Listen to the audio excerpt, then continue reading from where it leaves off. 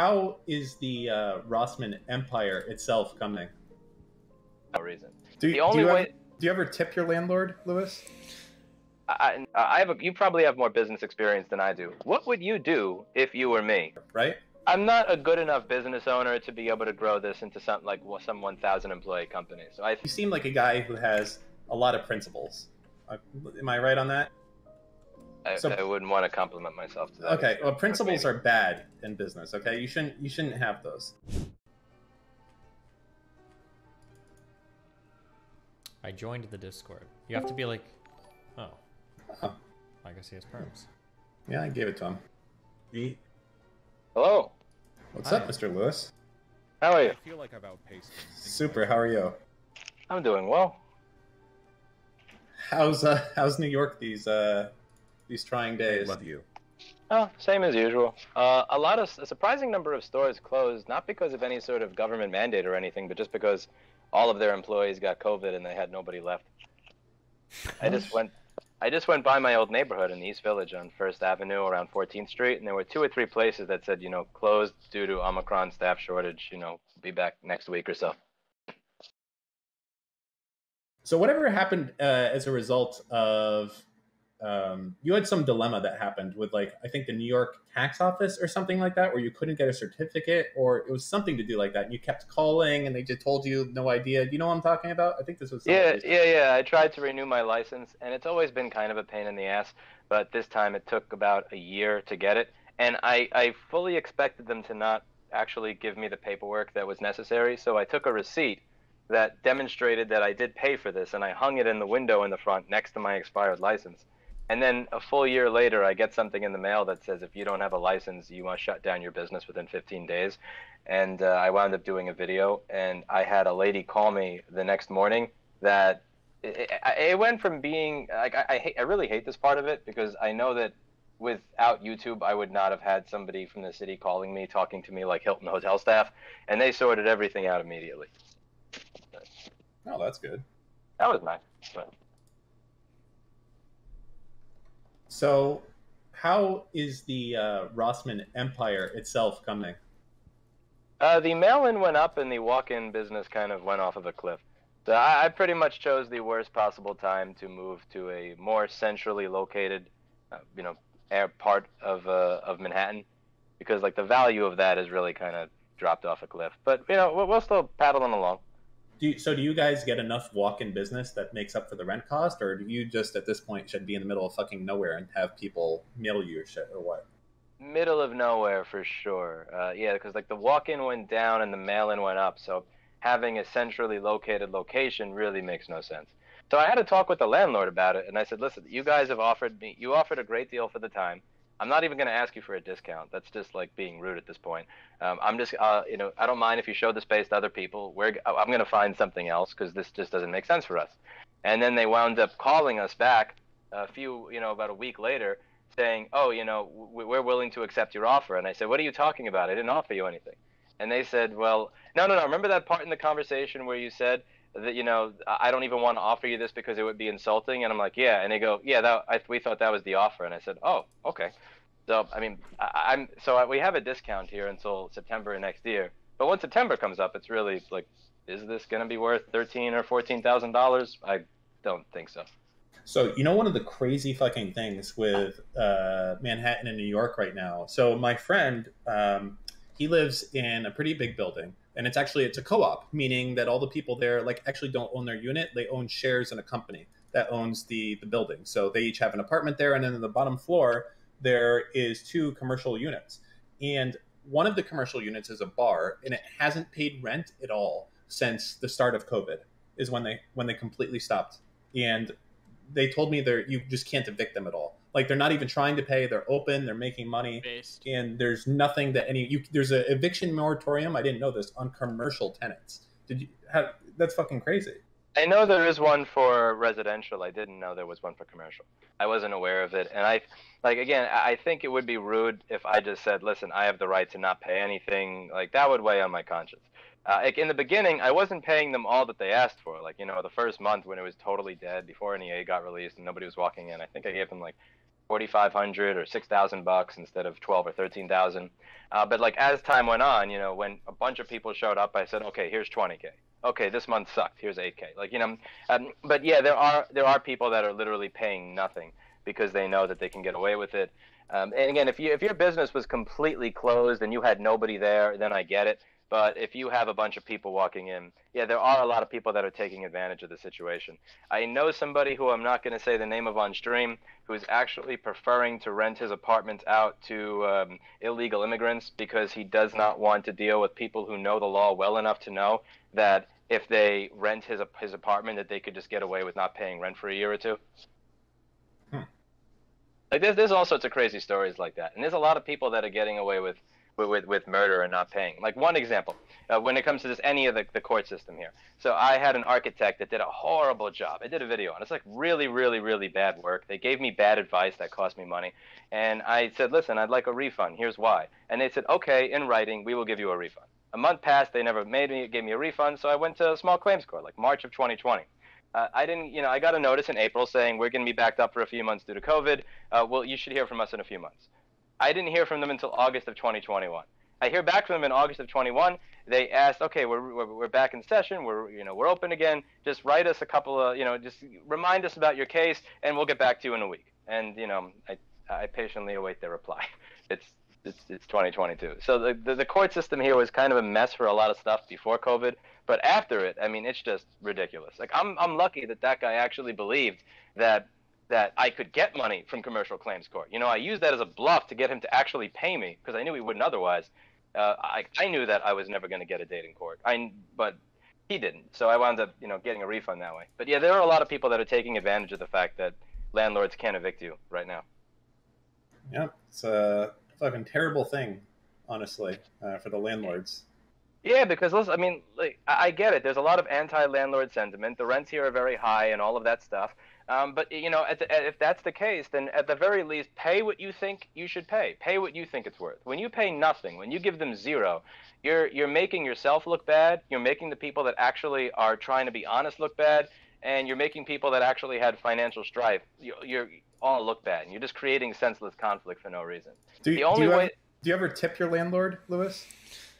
I, no, I've never in my life tipped my landlord. That, a lot of people don't know that, but that's actually proper etiquette. So He's wanna- Dan is doing a stupid meme. Ignore like half of what he says. Okay, sorry. Sorry. You know, I, I may I may consider it in an area where the this the it's not 65 or 66 bucks a square foot, Okay. but uh, Well, sixty-five dollars a square foot. I guess. Uh, yeah, that's a little. That's a little bit much. Um, this is the cheapest that you can get by. Like, I, it took me four months to find this place, and either one of the things that should have told me that this was the wrong time to move was that it was sixty-six dollars and sixty-six cents a square foot. When I actually did the calculation, I took my little meter out, I measured all the rooms. It was sixty-six dollars and sixty-six cents a square foot for this place. That should have been the sign, like, yo, something. I'm not a superstitious person, but like, I rented it anyway, and you know.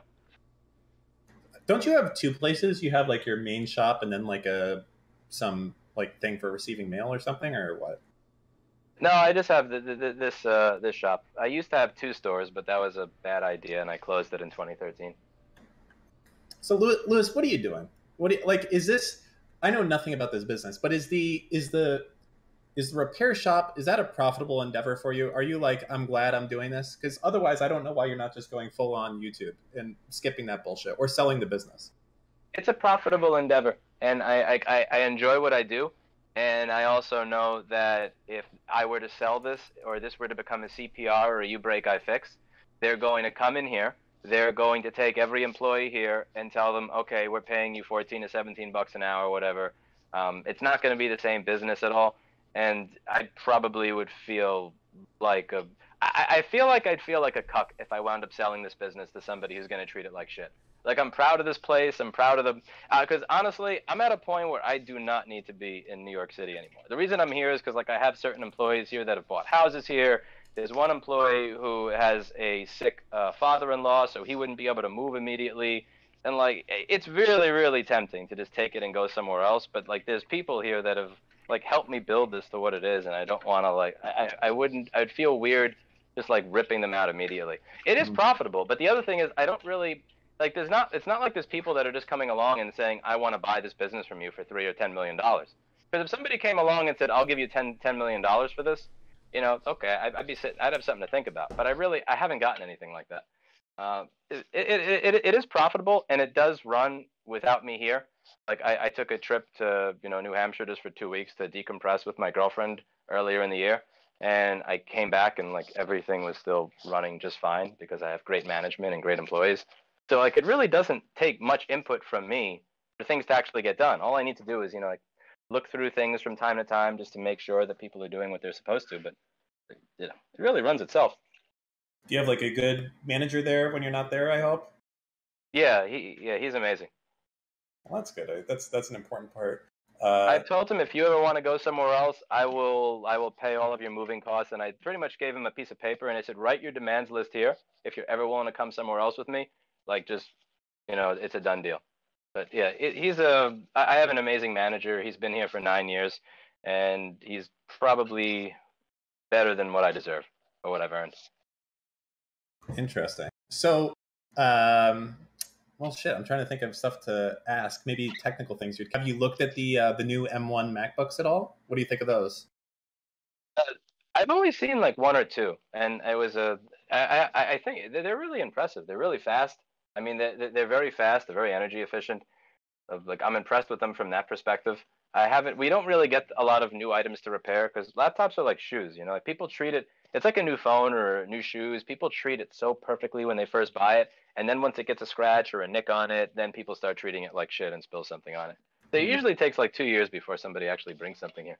The new M1s are actually pretty fucking crazy. I don't know if you've like watched any of the benchmarks or anything like that, but it's pretty nuts that um, a laptop that uh, I, I, guess first off, you could say is an ARM laptop can get the type of speeds they get out of the GPU. Like for instance, there's a game called Rust, and that thing runs as good on a MacBook as it does on like a NVIDIA 3070. It's pretty that's pretty crazy, honestly. I'm, I'm incredibly impressed at what Apple has done, and whatever I, I shit on them for the for the anti-repair stuff, I will give them credit that what they did with the M1 is amazing.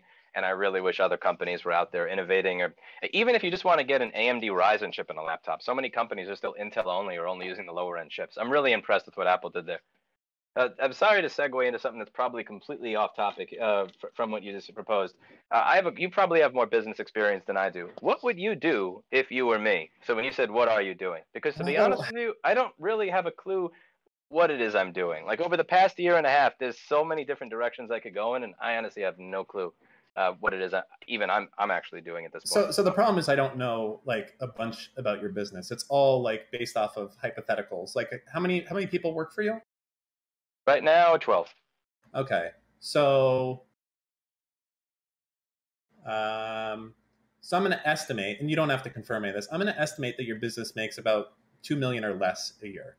Um, so, uh, and then you have your expenses and everything else from that. Now, the interesting thing you have is YouTube. I know that sounds so cliche because every, you know, 14 year old is coming out there saying, um, you know, hey, you know, I want to do YouTube and stuff. But you're in a position where you could actually I would say you would do more impact on the world with that than you can running a electronics repair store.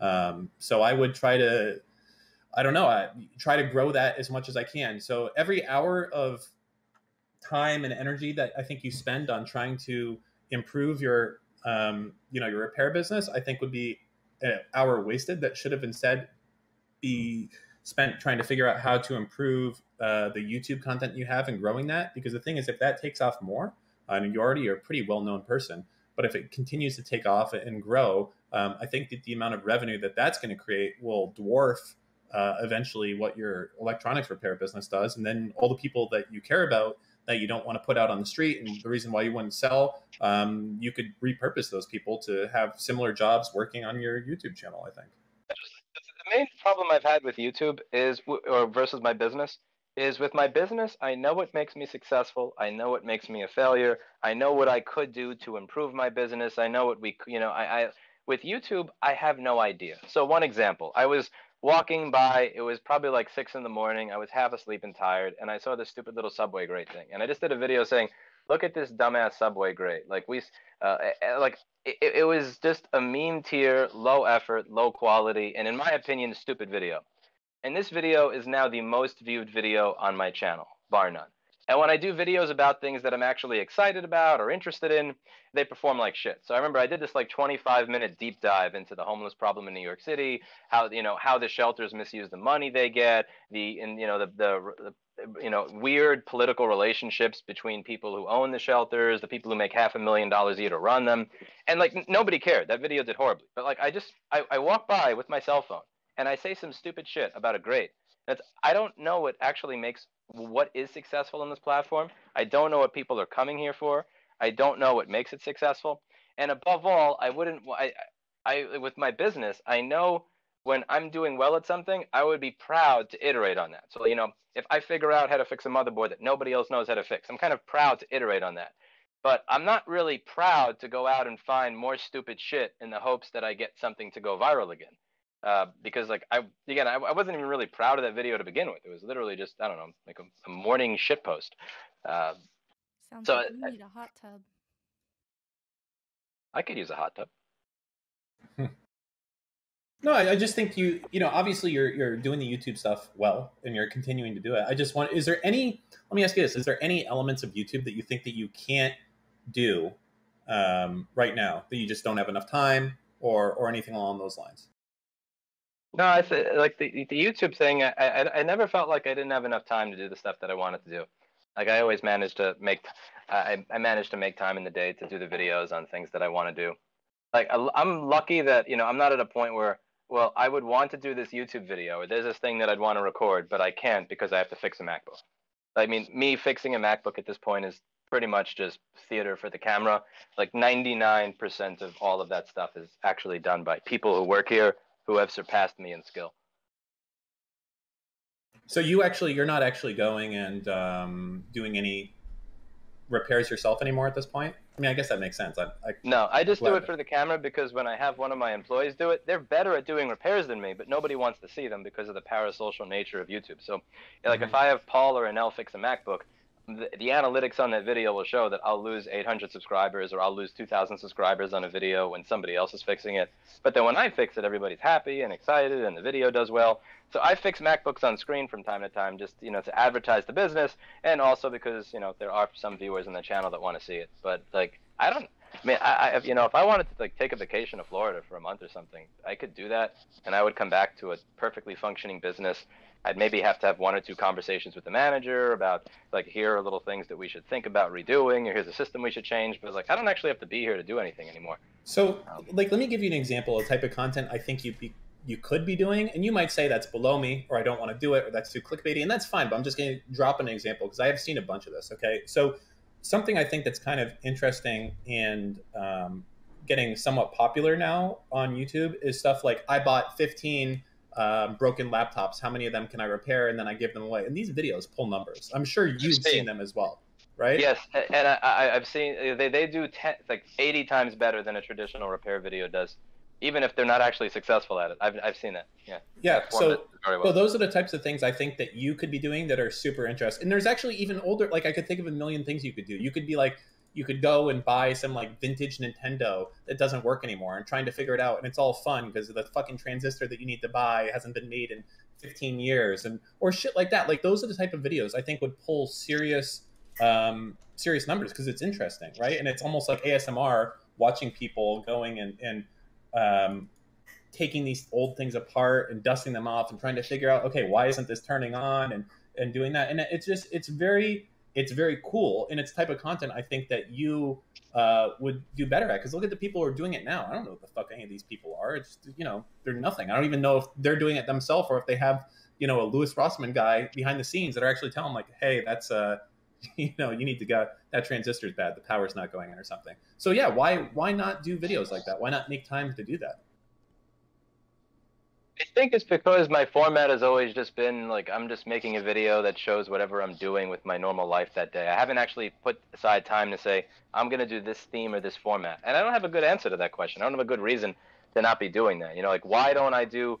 Let's buy 15, you know, MacBooks from uh, a scamming refurbisher and like see what they're like to fix. Can I fix it? Versus just I'm gonna fix a MacBook today. Like, like it isn't that right, like you, you do like user idea. challenges too, like right? Like send me your most fucked up MacBooks and see it. Can Louis fix it? Like there's so many cool um, pieces of content I think that you could be doing, as like um, you know like as a celebrity whatever and this is your niche like um uh what's another like you know the ElectroBOOM guy like he makes it funny like there's a lot of stuff there like i think it's like almost like taking a little bit of like no i, I only want i still want to talk about serious He's things like, you know, hysterical. yeah, yeah, Yeah, yeah, I, but I- it- I met that guy in person too. He's really humble and kind and a great dude.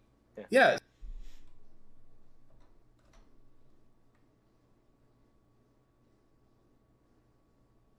Hmm. Hmm. That is a good idea. Something to go for. Hmm. Um, but yeah, I, I mean, listen, I'll, I'll be a watcher when you go and create the, you know, I bought the 10 most scuffed laptops on eBay, or I bought a 1984 Xerox laptop. Can I get it to work again? Like these are cool things you can do, and you go into the history of it. And it's like everyone's like, I don't, I don't know, whatever. That's a, that's not a bad idea. That's definitely, I mean- you gave me something to think about, and I appreciate It- that. You also, you, I don't think you have to run the fucking repair shop anymore. You can like own it and keep the people working there. You know, it's self-sustaining. You're not losing money, which is good. So let it do its thing and focus on the shit that you can have a direct impact on, right? Yeah. Like you, you probably can't do too much for the fucking repair shop at this point. It's not like the the revenues can be changed too much if you're there or not there, right? I'm not a good enough business owner to be able to grow this into something like well, some 1,000 employee company. So I think like this is as far as it's like I've done as much refining as I'm gonna do. Yeah, that, is fine. My skill I- set. I know how that is completely. So if that's the case, the smartest thing you can do, I think, is recognize that that's the case, right? Like, okay, I've, I've taken this as far as I can go. I can either, it's, you know what it's like? I use this kind of analogy a little bit. It's like buying headphones, okay? You can get a pretty fucking good pair of headphones for $200.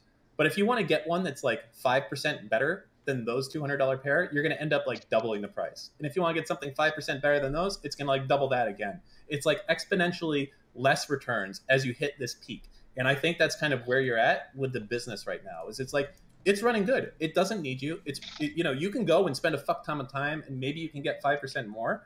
But um, yeah, I think like your your influence would be way better spent on things that you can have direct impact on. Interesting. I think the, the main pushback for me is always I, I I've never wanted to do something where it felt like it was a pre-scripted story or something that wasn't real. Because like people thought about that when I was doing that real estate series with moving. It's like I really like it wasn't a fake story. I just I really was that much that that that uh, autistically pissed off and aggravated at the fact that they would lie about the size of the square footage, and it started to become like a little game for me. And like I think that what what made what got people so excited about that content was like they were sharing my enthusiasm for it rather than me coming up with some random idea. And uh, Well, But hold on, real talk. to it. But I want to try this stuff. Would, you? Okay, I'm, and you can be honest. Like, would you have no interest whatsoever in buying ten MacBook Pros that aren't boot, not not booting, and then trying to figure it out? Would you get no enjoyment from that? Like trying to figure it out and repair them and po- possibly make money from it as well? Is that not interesting to you at all? I don't think I find fixing things as fun now as I did 10 years ago. So, what Um, do you find think- fun besides bitching about real estate? Because no one wants to pay to hear that. You'd be surprised. I, I would be surprised. There's Unless you're actually going- a video going- going up today. Uh, unless we're doing turning into like a tenant rights ad, advocate or something. I, I think uh, there's probably bigger markets. But yeah, okay. So not as much enjoyment that you get out of actually using your skills anymore. Is what it sounds like. I think diminishing, diminishing. It was like it was more fun, you know, like 10 years ago than it is now.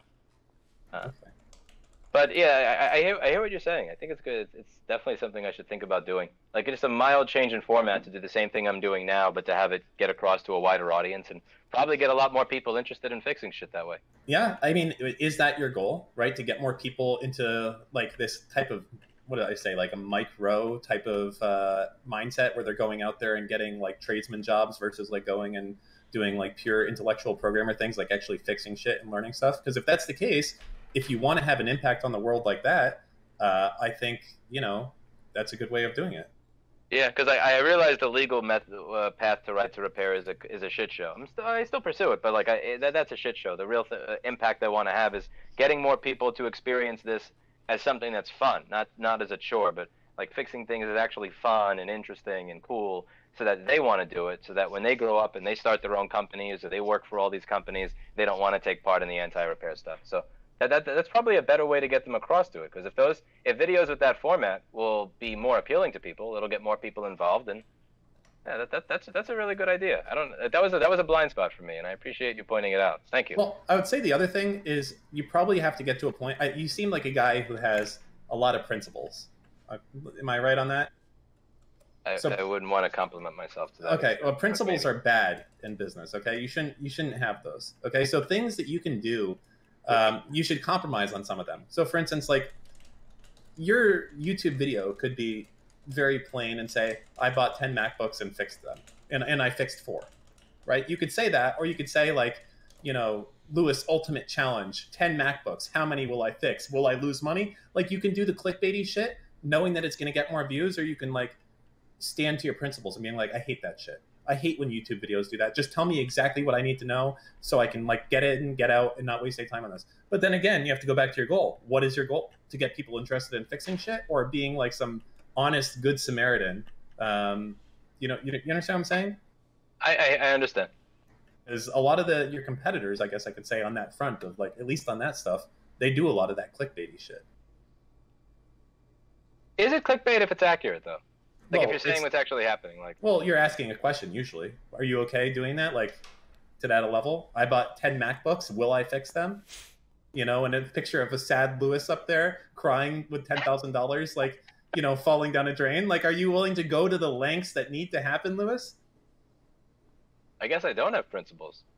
I would have been willing to do that right now. Okay, well, per- hey, Probably not with a right. picture of me crying, but Well, listen, that's or maybe I have a different do. principle. All right, good, good. Yeah, listen, I think it'll be enjoyable. I look forward to um, to watching these these videos. I love that shit. Have you ever seen any of the um, the ones where they kind of do restorations? Not not electronic based, but like, hey, here's a watch that's been in the mud for like 80 years, and they take the whole thing apart and um, do that. I love that type of shit. I watched a couple with like not not watches, but you know, like here's a television from the '60s, Yeah, yeah. or here's a here's an IBM from the '80s. People really like that type of stuff, like you know, like fixing really really obscure random crap. I don't know how I could commoditize that though, because I don't. the- It takes a lot of time to learn all the intricacies of one of those random pieces of hardware. Oh, so you're saying, for instance, like let's say I gave you, I'm trying to think of exact. Let's say I gave you an 8088 or like a 286 computer, like just an IBM computer, and the thing doesn't boot. Do you think that you're going to be able to um, easily figure out why it's not booting and get it booting, or are you going to have to be like, okay, I have no idea what any of these fucking chips are. What one handles power delivery on here? If you're the same Dan that sent us an iPad that took over three months to fix because we didn't have a schematic, I think you the answer to that one. Oh boy. But yeah, that, that was uh, like I remember you, that, that, I, we I didn't realize that on that year. I think it was the each connector had a little bit of information for touch and a little bit of information for image. So even if uh, you needed both of them to work, and I was trying to guess which inductor was for what, and I didn't recognize it. But like it, it's something that can work, and it's totally doable. I wound up figuring it out, and like you know, uh, having an interesting discussion with the supposed iPad board repair expert here afterwards. But like it was, uh, but it's one of those things where I don't know how to commoditize that into a easy YouTube format because it could easily take me three months to figure out one problem. Well, I guess you have to kind of stick to the shit you know then. So if you think that, like again, using the 486 example, so you know what a 486 is, right? You're old, Yeah, like me. like okay. yeah, could I figure it out? Yes. It's just even if that video brought in two thousand dollars, I might have spent you know eight thousand or twenty thousand Well, dollars worth of time. to be figure clear, we're trying to get fucking well far and beyond from making two thousand dollars from a YouTube video. You get that, right? Like the idea here is to break out of, um, you know, those numbers. So like instead of doing, you know, thirty k views, you're trying to do like, you know, over a million or something. And you need to have Yeah. like ultra clickbaity bullshit.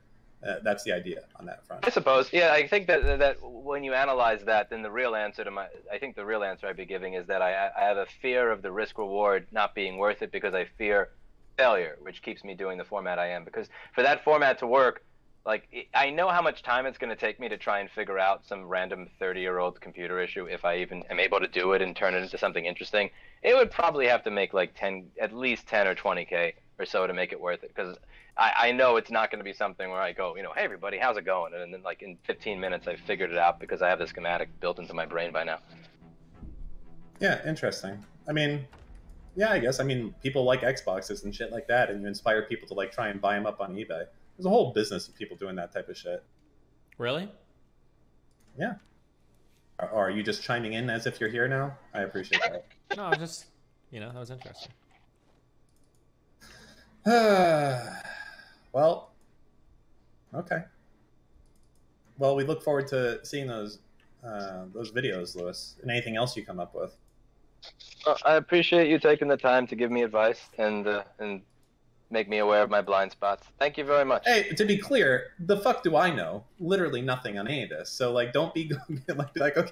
I imagine Louis going into work tomorrow. Like, all right, kids, you're on your fucking own. Papa Louis is going out there. I got a new plan in life. All right, like this. Slow down. All right, this is one fucking idiot on the internet giving you some suggestions right now. Okay, so it's worthwhile take... to have additional perspective. I appreciate okay, it. Okay, sure. I don't always listen to them, but I don't always still go ahead with them. But I like having them to you know marinate in my brain. Oh, one other thought. How much like other stuff do you do outside of YouTube? I guess. For money or for myself? What do you mean, like a? Well, like for instance, I'm assuming, you know, do you stream on Twitch or do any of this other stuff or what? I stream on Twitch, but I'm not an affiliate because I think you're not allowed to dual stream to Twitch and YouTube at the same time. Um, mm-hmm. Are you partnered on Twitch? Did you no, he's not, even, no. he's not even an affiliate. Wait, why? I don't think I'm any of those. Oh yeah, you can dual stream if you want. Oh yeah, I, I remember getting asking them about this, and there was whatever it was I was asking them for. They said you're not allowed to dual stream to YouTube, and I said, well, how much money will I make for streaming to Twitch? And they said, well, you'll you'll see once you sign the agreement. And I just thought, there's no way in.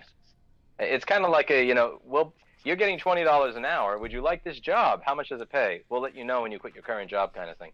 I want, I, I so I use Twitch, but I don't, I, I haven't really built up my page or anything.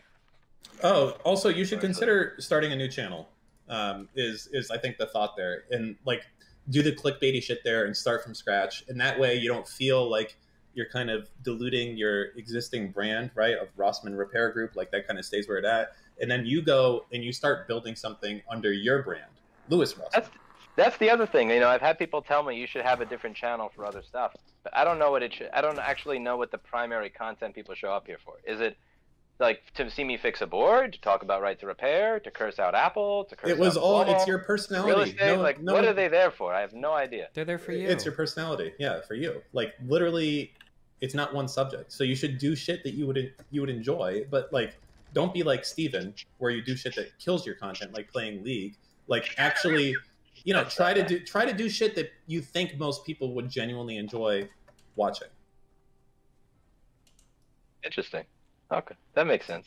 So if you're going to stream, like you could imagine you streaming, creating a YouTube video like that. You know, seems stupid, but like, hey, hey guys, I just ordered fucking ten MacBooks. I gotta unpack them and see what the fuck's going on for my new video. Like that would be cool content to watch. Uh, you stream, and then people kind of feel like they're there with you, and you get revenue there. So yeah, I would go that direction, and then also sign up to be like a, a Twitch affiliate because I think you can duo stream. Um, and you get you know you get paid to do it there, right? I, I will sign up to be a Twitch affiliate. This is something to consider. The other, th- I think this is probably me just coming up with excuses at this point. But my other main fear is if I were to look at YouTube as a primary method of making a living, that it winds up becoming easier to lean. Uh, I'm trying to figure out a way to phrase this that's proper. I know I'm going to phrase it improperly and regret it later, but um, I'm gonna head over this every time I've made a video, it's pretty much been exactly what's in my head, and I kind of say what I'm thinking without regards to will this get me a bigger fan base? Will it make more money if I phrase it this way? Like I've never had that in my head, and I know I've put off certain people because of like you know I'll go this far in an issue, but not all the way with it. I don't, I don't want to become Tim Pool. Does that make sense? I think there's a pretty big stretch of highway between you becoming Tim Pool and you just maybe not being a child that can know like okay i should put more i can't be a free spirit hippie that's going to give no thought whatsoever to my business. I have people that i'm responsible for. I want to try and grow my brand. I you know i have goals. And you know what? It's worth making somewhat of a sacrifice that i am going to think about this fucking thumbnail i'm not going to just go say i fixed four macbooks six i did not fix and instead you're going to be like i've got a macbook guess if I fixed it? You're gonna sacrifice because that's what you have to do. Because like there's a. What the fuck is happening? Wait, what's going on? he had to relog.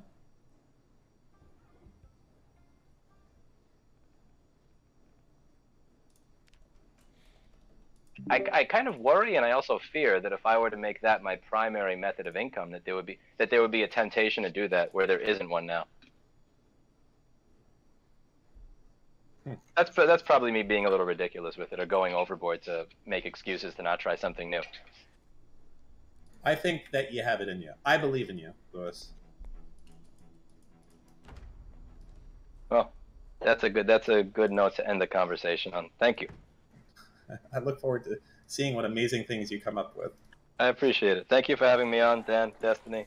Feel free to come in And anytime. You, you you, have roles, so you can just join if you're ever feeling bored. I'm sure Steven would always like the company. Yeah. All right, beautiful. Have fun. Be careful. I'll talk to you later. Yep. Cheers.